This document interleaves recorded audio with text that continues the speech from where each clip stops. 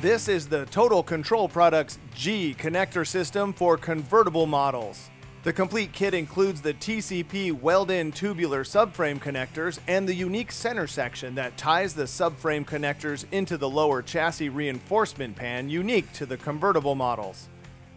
All tubing is inch and 5 8 steel, and the 7 gauge mounting tabs offer slotted holes to allow for any chassis variances during installation. The gConnector system is powder coated black and includes all grade 8 mounting hardware. For more information on this and other chassis improvement items, check out TotalControlProducts.com.